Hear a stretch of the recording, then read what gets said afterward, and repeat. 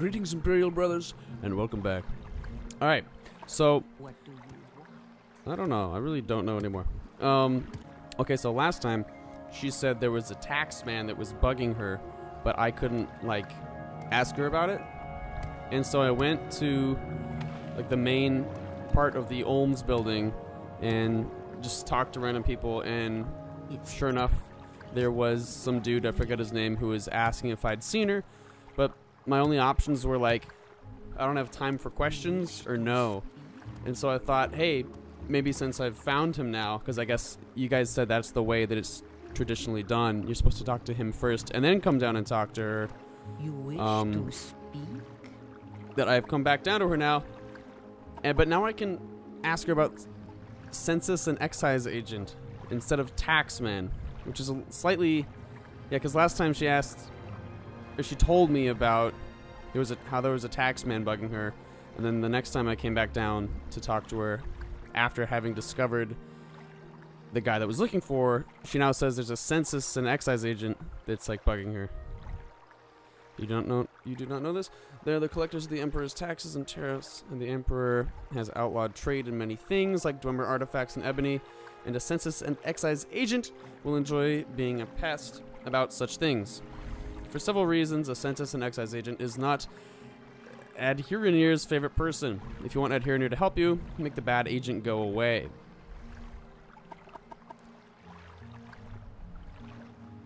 Hmm.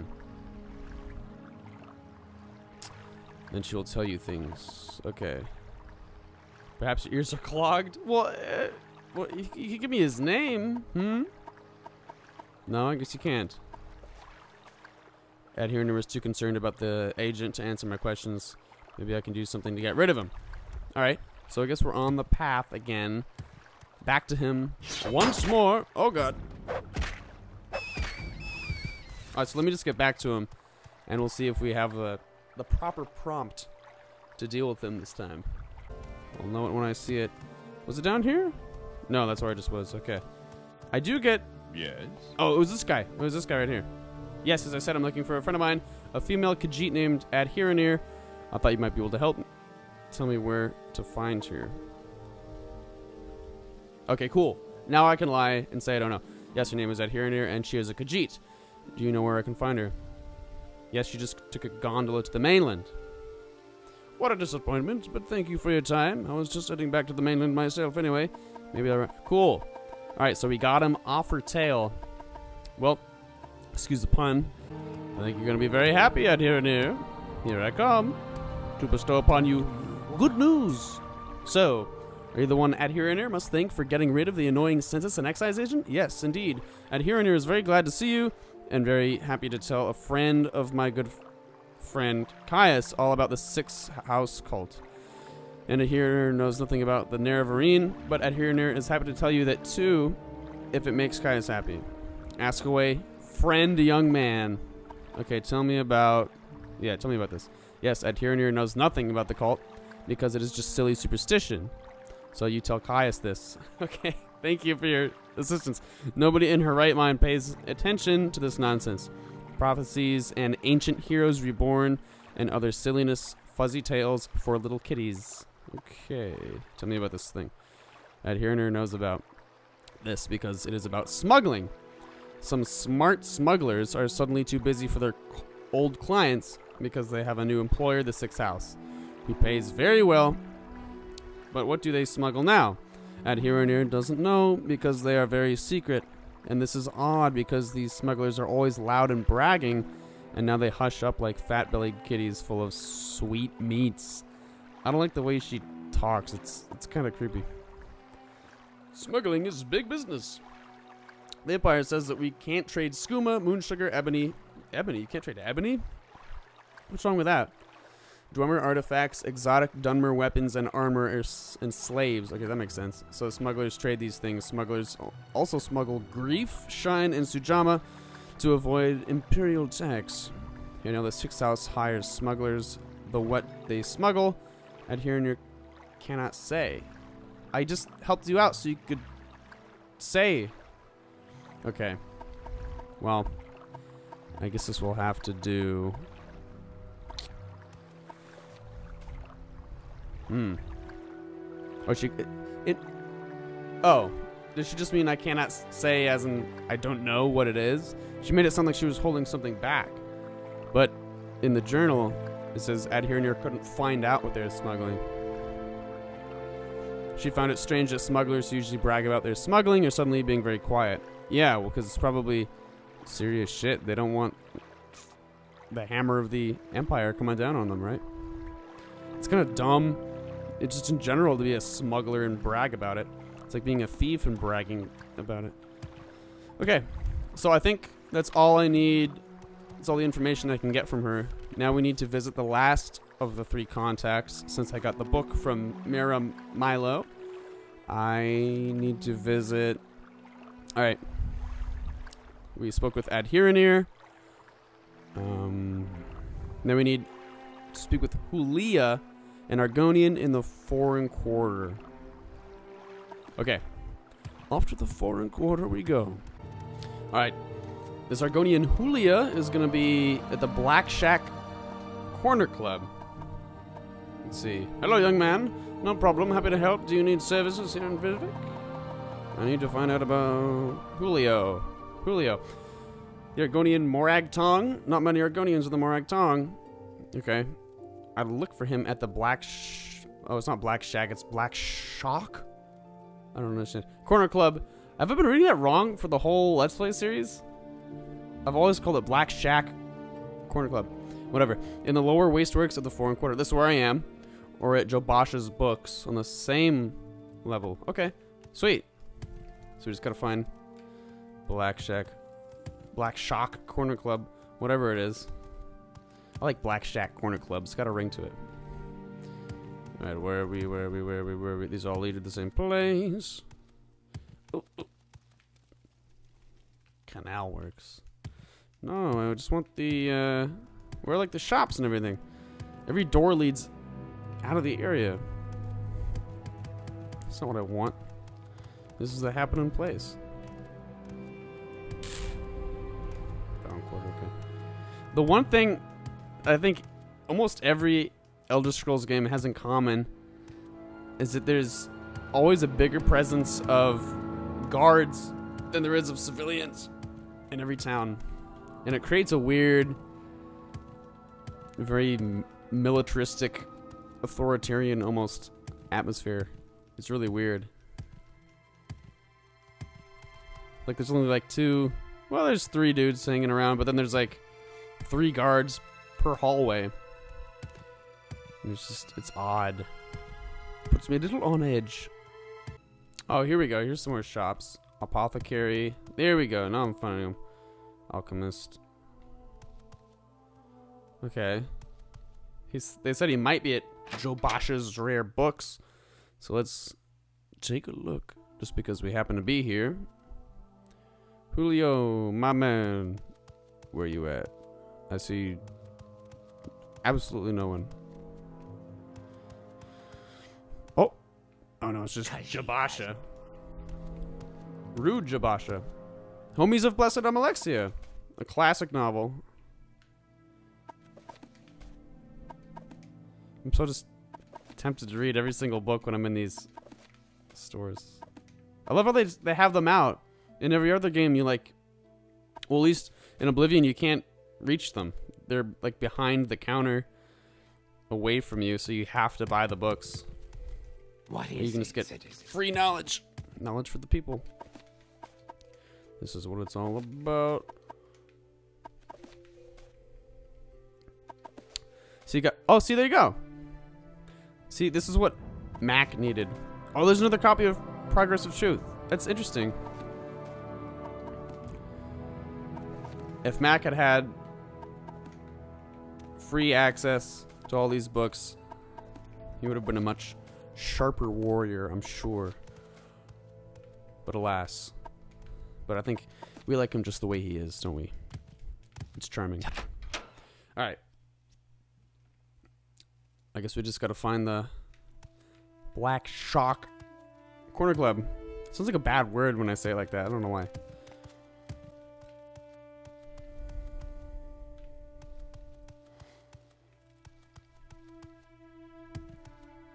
Here we go. Go ahead. Oh, here's the happening place. We got some dudes hanging out in here. By another. Questions again. I've been looking for you, my man. I welcome you as a friend of my friend, young man. But I wish to go to my friend's bookstore, and these troublesome fools are in my way. I have tried to persuade them, but they hate my race. Oh no. And I fear there will be violence, perhaps if you speak with them. But be careful and be ready. The sight of a free Argonian offends these racist thugs. Wow, this is getting intense.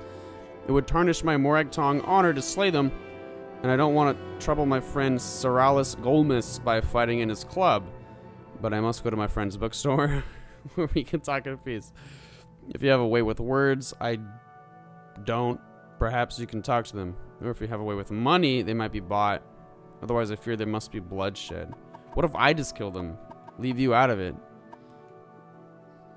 Yeah, Jobasha. You and your Khajiit buddy. The, uh, the sore throat people. Jobasha, Julia. If you will agree to travel together with me there, I will answer your questions. But before we go, I beg you to try to persuade these troublesome fools to leave us alone. Otherwise, I fear they will attack the moment we leave. Jeez Louise. Okay. Um. That's. That's crazy. Dude, you gotta screw off. Am I talking to you, Fetcher? No, I'm talking to the filthy lizard, so push off. Wow, what are you, some kind of filthy lizard lover? You want to give your little friend a big kiss? oh no. Okay, dude. You gotta screw off. I'm gonna save first. I wanna just kill him. I really wanna just kill him. Speak, Trap. And now you're being polite. What do you want Look at these guys. Outlander? I haven't much time. Shut up. Alright. Here we go. I really just wanna throw down.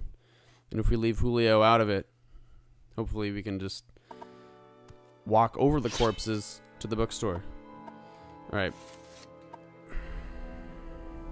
Get out of our way, Enwa.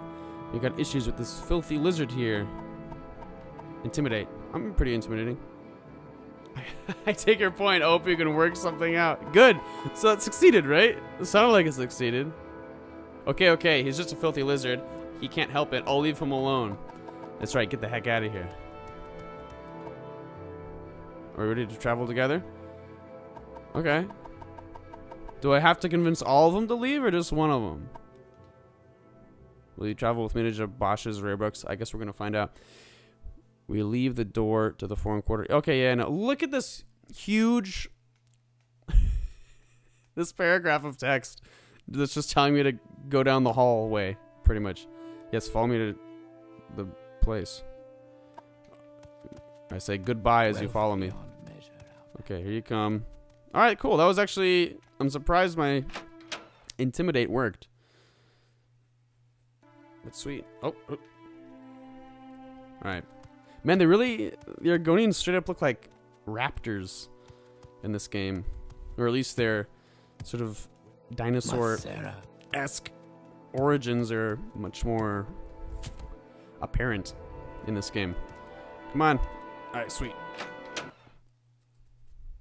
Cool, he's the last contact. Then I can return to Caius. Yes, thank you very much. We should be free from distraction here. Now, I said I'd tell you about the Nervarine cult so you can report back to Caius. And I don't know of any six house cult, but I can tell you what I do know. I love how they all tell me I don't know anything about this, but I'll tell you about how I know nothing about this. Let's see what he has to say. I've never heard of such a thing.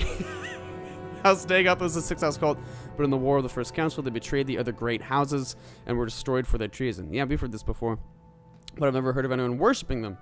Dagoth Ur, the ancient head of House Dagoth, is the devil of the tribunal faith, but I've never heard of anyone worshipping him either. Alright, what do you know about Neververnine? Neververnine. Ne- I can't even. One day I'll say it right on the first try. When the Ashlanders joined Nerevar in the Battle of Red Mountain, he swore in his great ring, one clan under Moon and Star, to that's that sounds like a 2008 online chat room username, to honor the ways of the spirits and rights of the land. But after the victory, Ashlanders say the power-hungry tribunal slew Nerevar in secret. Then, setting themselves up as gods, the tribunal and the great houses forgot Nerevar's promises to the tribes. Ashlanders say Nerevar will come again with his ring, cast on the false gods, and make good his promises to the tribes. Okay, so what of the cult surrounding this great story? To understand the cult, you must understand the history of the Ashlanders. Nerevar means something very different to the Ashlanders from what he means to the Dunmer of the Great Houses. You should also know about the persecution of the Nerevarine and the legacy of the false incarnate. Okay, boy, there's a lot to unpack here. For the Nerevarine cult is at the heart of the ancient conflict between the nomadic Ashlanders and the settled Great House Dunmer. Here is a summary for Caius, but ask your questions and I'll answer in detail. Yeah, tell me about the what's the false incarnate? Where's that at? Oh boy, oh boy. In the past, some have claimed to be the reincarnated Nerevar. The most recent is known as Peak Star. It's kind of like Jesus. People claim to be Jesus, resurrected Jesus, a figure of legend among the Wastes tribes for the last 30 years. And the temple says these false incarnates, yeah, disprove the prophecies since the false incarnates fail and come to nothing. Oh, but the mystical Neverine cult glorifies rather than shrinks from contradictions inciting the appearance of failed incarnates as certain proof of Nerevar's coming rebirth. Okay. And the great houses are in okay. Whew. A lot of history here, guys. This is this is what everyone's been saying I need though. Some backstory. So here it is in full. In modern times, Morrowind is ruled by five great houses. Yes, I'm aware of this. Hlaalu, Redoran, Telvanni, Indoril, and Dres. Great houses Culture is partially defined by its roots in ancient Dunmer tribal clans, and partially by later imperial influences from other Western cultures. The Great Houses culture is only one of the native Dunmer cultures of Morrowind. The other native culture, the Ashlanders culture, is a nomadic barbarian culture largely untouched by imperial influences. Yeah, that makes sense. Alright, cool. That kind of thing happens. Isn't that in like in Australia, the middle of middle of the land has like aborigines that still live the way they did 100 years ago whatever. Seems similar similar situation. Um anything else i can ask you? The temple treats the Nerevarine prophecies as heresy heresy. I always get hearsay and heresy mixed up. As heresy, and the temple imprisons and executes heretics, unless prevented by imperial law. But since the Nerevarine cult is hostile to the Empire, the Empire does not interfere when temple persecutes the cult. Ashlanders hate the temple, and particularly the Ordinators, for their ruthless treatment of Nerevarine cultists. Okay. Very epic.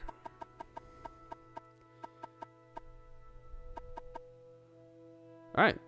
Thanks, man. Words you have for me, citizen? Okay.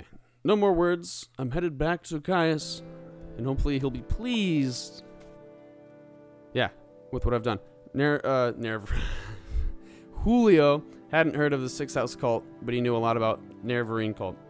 He gave me notes to give to Caius. The main thing I gathered is that the temple's conflict with the Nerevarine cult is tied up with ancient grievances between the Ashlanders and the Great Houses. Yes, that's what I gathered as well.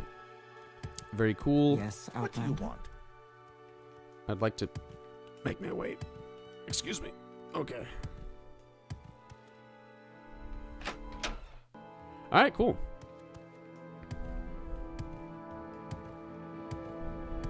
Now I just gotta silt stride my way back to Caius.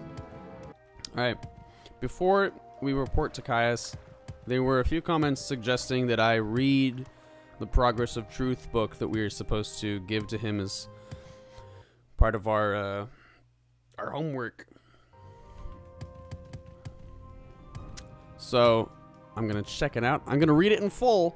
I don't think it, it can't be that long. None of these like in-game books are super long or anything, but um, I'm going to give it a read and see if it lights my way. Oh boy! All right, here we go, guys. Progress of Truth, compiled by the dissident priests. Excerpt concerning the points of temple doctrine challenged by the dissident priests. 1. The divinity of the tribunal. The temple doctrine claims their apotheosis was miraculously achieved through questing, virtue, knowledge, testing, and battle with evil. Temple doctrine claims their divine powers and immortality are ultimately conferred as a communal judgment by the Dunmer ancestors, including, among others, the good Daedra, the prophet Veloth, and Saint Nerevar. Dissident priests ask whether Dagoth Ur's powers and the tribunal powers might ultimately derive from the same source, Red Mountain. Sources in the Apographa suggest that the tribunal relied on profanely enchanted tools to achieve godhead, and that those unholy devices were the ones originally created by the ungodly Dwemer sorcerer Kagrenac to create the false construct Numidium. Uh, I feel like this book is gonna present me with more questions than answers, but let's let's continue on. Chapter two. The purity of the tribunal. The dissident priests say that the temple has always maintained a public face represented by the hieroglypha, the priestly writings, and a hidden face represented by the apocrypha, the hidden writings. Okay. The public account portrays the actions of the tribunal in a heroic light, while the hidden writings reveal secrets, untruths, inconsistencies, conflicting accounts, and varying interpretations, which hint at darker and less heroic motives and actions of the tribunes. In particular, conflicting accounts of the battle at Red Mutant, Red Mutant, Red, Mutant, Red Mountain. Ray, I don't know where that came from. Red Mountain raised questions about the tribunal's conduct and about the source of their subsequent apotheosis. Also, there is good evidence that the tribunal have been concealing the true nature of the threat posed by Dagoth Ur at Red Mountain. Okay, misleading the people about the tribunal's ability to protect Morrowind from Dagoth Ur, and concealing a recent dramatic diminishing of the tribunal's magical powers. Ooh, that is interesting. Chapter 3 Temple accounts of the Battle of Red Mountain. Ashlander tradition does not place the tribunal at Red Mountain and holds that the Dwemer destroyed themselves rather than that Nerevar destroyed them. Interesting. I almost got it right that time. Nerevar. One time I'm going to get it right. Ashlander tradition further holds that Nerevar, aha, left Dagoth Ur guarding the profane secrets of Red Mountain, while Nerevar went to confer with the Grand Council, i.e., the Tribunal. That Nerevar died at the conference, not of his wounds, according to the Ashlanders, but from treachery, and that subsequently the Tribunal confronted a defiant Dagoth Ur within, within Red Mountain, then drove Dagoth Ur beneath Red Mountain when he would not yield to their will. Okay, wow. Number four, veneration of the Daedra saints and ancestors. While challenging the divinity of the tribunal, the dissidents do not challenge the sainthood or heroism of the tribunal. In fact, the dissident priests advocate restoring many of the elements of fundamentalist ancestor worship as practiced by the Ashlanders and by Saint Veloth. Exactly how this would work is debated inconclusively within the dissident priests. Number five, denial of the prophecies of the incarnate and persecution of the Nervarines. Though no consensus exists among the dissidents about whether the Nervarine prophecies are genuine, all agree that the persecution of Nervarines is unjust and politically motivated. Okay, interesting. The dissident priests do not reject mysticism, revelation, or prophecy as part of the religious experience. The dissidents have not resolved the issue of true or false insights. They have studied the mysticism of the Ashlander ancestor cults, in particular the rites of the Ashlander seers and wise women, and the prophecies of the incarnate. Many among the dissident priests have come to believe that the Nerevarine prophecies are genuine, interesting, and have made a systematic study of prophecies recorded in temple archives. Number six, authority of the Archcanon and the Ordinators. Here we go, diving deep. The dissident priests reject the authority of the Archcanon and the Ordinators. I agree. The temple hierarchy has been corrupted by self interest and politics and no longer acts in the best interests of the temple or its worshippers. The dissident priests believe the arcana and the ordinators speak for themselves, not for the tribunal. I get that sense as well. Number seven, the Inquisition and the use of terror and torture by the ordinators. Ordi- ordinators. Okay, interesting. Within the temple hierarchy, it is an open secret. The ordinators rely on abduction, terror, torture, and secret imprisonment to discourage heresy and dissent. That's creepy. I didn't know that. The dissident priests feel the ordinators are either out of control or tools used to maintain a corrupt priesthood in power. Hmm, okay, this is getting interesting. Fundamentals of temple doctrine charity for the poor, education for the ignorant, protection for the weak.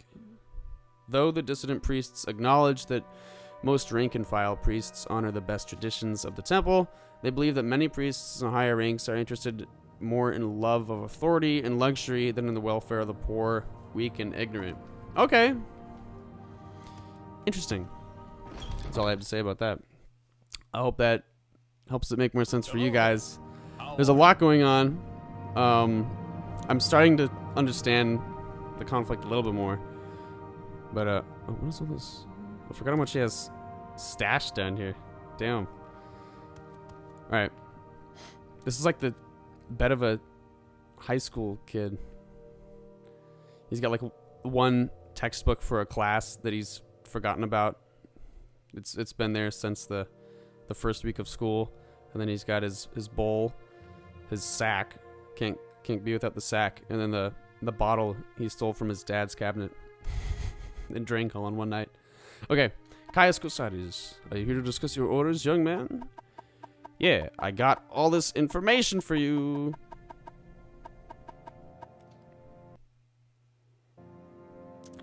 I have your report, and I'll make copies of your notes from Julio and the Progress of Truth. Give me time to read and digest all this. Yeah, I need time to read and digest all this too. In the meantime, I'm promoting you to Journeyman. You're doing good work. And here are 200 drakes. Go out and treat yourself to a new pair of shoes. Thanks, Caius. A new pair of shoes. Wow. I'm like 10 years old. And go do some jobs for the guilds or other freelance work. Just keep your cover story current. Or go get some training. Then when you're fit and rested, come back and I'll have new orders for you. I'm pretty fit and rested.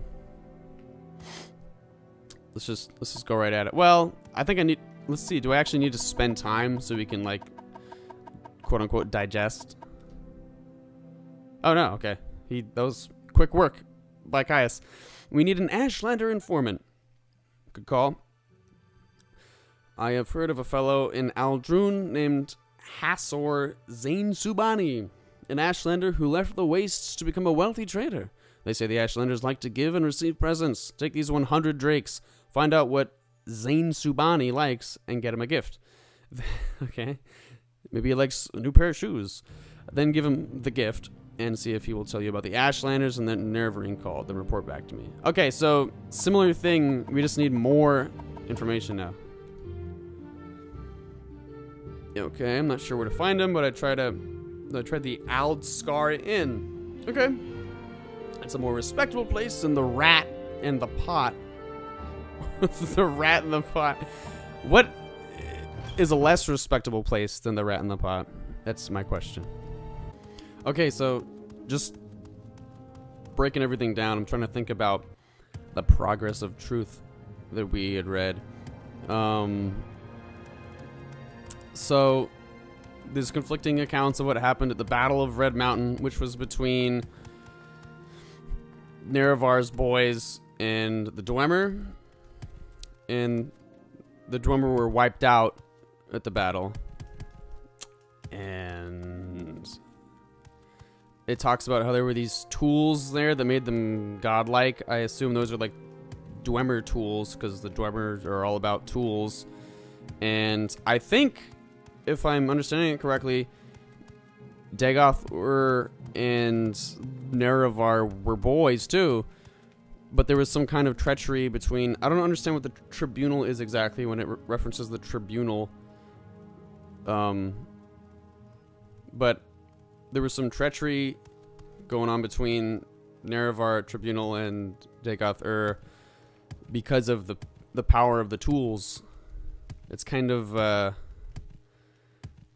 again very Lord of the Ringsy. I'm imagining gold tools. There's a volcano, and there's treachery between friends because of the godlike power that the tools give you.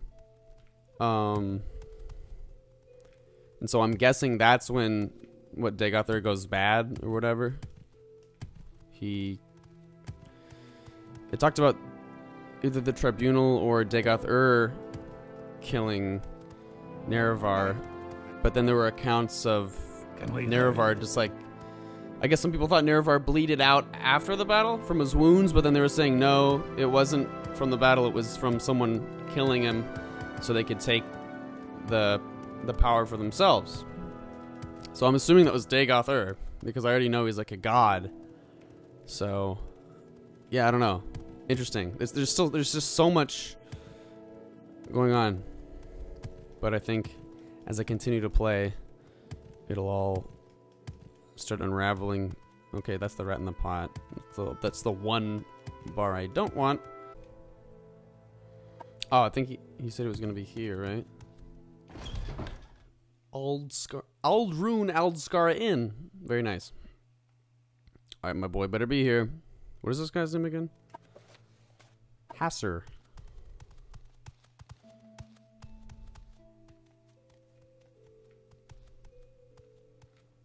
Yo. Where's my boy at? Shashev. Oh man, the frame rate. Ah. Let me just find What Fathasa. is it, Sarah? Why does Fathasa sound like a name of a sidekick character in a 90s Disney cartoon? Okay. Okay, please. Where is. Where is he? Why is it so glitchy? This is just one little. Not Fathasa. It's not about anything. Where is Hassour? So many empty rooms. The five far stars. Come on. He's gotta be here, right? I guess he could be at the, uh... No, he, didn't you say specifically here? Let's see if I can ask about him. Yeah, here he is, right? He's a trader and a wealthy one. He has his own room here. He was born... Okay, well, where is he? He was born in Ashlander and knows their speech and custom and has grown rich by trading with them for the things prized by Westerners. Is that what you wanted to oh, know? Oh my gosh. Sorry. Is that what you wanted to know? Very passive aggressive. Okay, where is his room? Unless is he just is he not in right now? Do you I want? want you to move out of the way. That's what I want. This is not a room. Man, things are getting so laggy for me. Ah! Oh, it's just Shashev again. Okay, I'm gonna guess he's not here right now. I'm gonna call it. That was a lot of reading. Um, but I'm glad. I think I'm starting to understand the general story. I think our boy Hasser Zain Zubani is out right now. Masera. Stop. I'm just gonna wait here a few hours and, until he comes back, then we'll see what gift I can get him. I love how I have to get him a gift. Um. So here I will remain What until the Yes, next Outlander? Let's Play. As always, thank you to the patrons, thank you to the subscribers, and thank you to everyone who watches. And we will see you next week. Take care.